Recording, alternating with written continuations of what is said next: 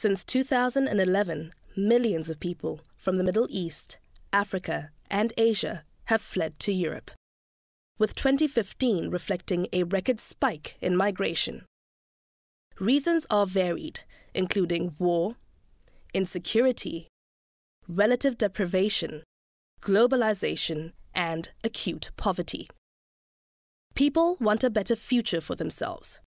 But to get there, many have put themselves at grave risk, suffering physical abuse, forced labor, trafficking, and extortion. Thousands have died trying to cross into Europe.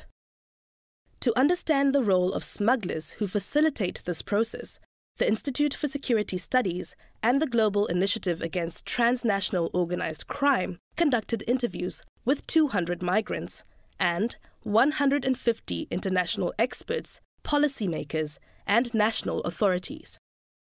The interviews were done in countries of origin, transit, and destination along the major routes into Europe. The results provide a clear picture of Europe's refugee and migration crisis and its implications. The high volume of migrants overwhelms destination and transit countries. While some of these countries are unable, others are unwilling to meet their international obligations. People are divided over whether this mass movement presents a threat, an opportunity, or a humanitarian imperative. The impact on stability and electoral politics in Europe is profound. In August 2015, Germany's Chancellor announced a temporary measure that would allow all Syrians escaping conflict free movement and asylum in Germany. While it reduced the risk of transiting by land across Eastern Europe, it attracted more migrants seeking asylum. Two months later, Germany changed tact and reinstated the EU Dublin regulation that requires clear documentation of all migrants.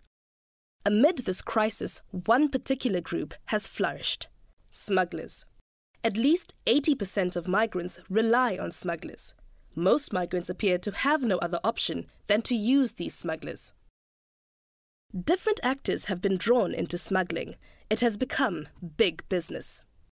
Criminals profit from it. Smuggling fuels corruption and it finances conflict, instability, and terrorism. Smuggling perpetuates and deepens the migration crisis. It is no longer just about what caused migration to Europe, but also about what keeps it going. Solving conflict alone won't reduce migration. Innovative and long term solutions must respond to the drivers, catalysts, and key actors.